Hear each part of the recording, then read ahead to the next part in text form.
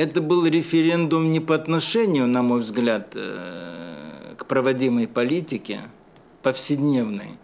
Это референдум по отношению к принципиальному изменению политической системы Турции.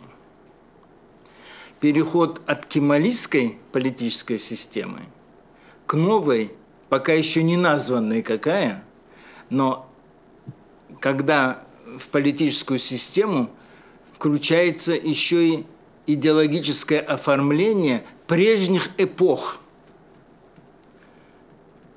А что значит прежние эпохи? Это то мировоззрение, которое формируется и формировалось в длительное время в условиях господства исламской идеологии. Но некая модификация произошла. Ну, сегодня ее называют умеренный ислам, э, мягкий ислам и так далее. Но это реанимация прежнего общественного сознания. Второй момент, на что я хотел бы обратить внимание.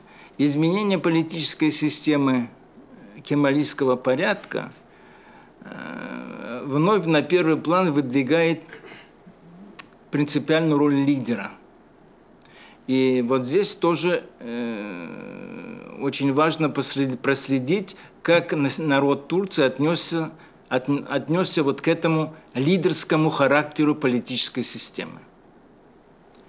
И обратите внимание, та часть турецкого народа, которая связана с передовыми э, формами производства, с, перед, с передовыми формами экономической организации общества, а это крупные города – Стамбул, Анкара, Анталия, Измир, Адана. Вот тут надо сказать, что э, избиратели в этих крупных городах проголосовали за, если не, я не хочу сказать против предлагаемой системы, а за более медленную трансформацию. То есть не готовы к решительной ломке через колено – вот того отношения к политической системе, которая сформировалась в результате длительного развития республиканской Турции. Второй момент, на что я хотел бы обратить внимание. Доминировал, доминировал экономический фактор в, в симпатии и антипатии избирателей. То есть вот люди вышли и посмотрели вокруг своих городов, муниципальных районов, и видят, что инфляция вновь достигла двузначных цифр, безработица тоже двузначная стала уже. И, естественно, адресуется это правящей партии. И я бы тут хотел одну вещь сказать. Слишком личностный фактор президент Турции поставил на кон местных выборов. Я бы поумерил его пыл, и если это общенациональные выборы, да, можно авторитет президента ставить и этим руководствоваться, но для местных выборов это слишком большая козырная карта. И вот здесь, конечно, негативные последствия могут быть.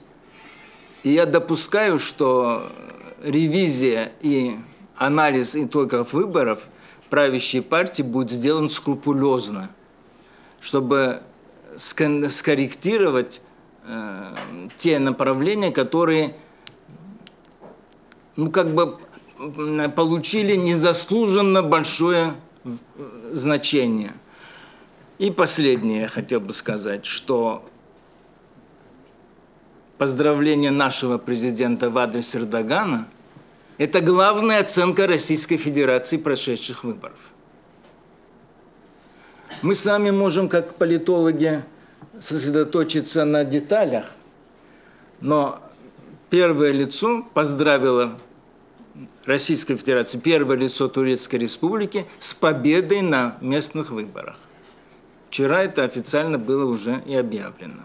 Стало быть, вот это важно, важная реперная точка, которая говорит о том, что эм, заданный темп политических отношений с Турецкой Республикой будет, как минимум с нашей стороны, сохранен, и я даже скажу, получит, получит дальнейшее развитие.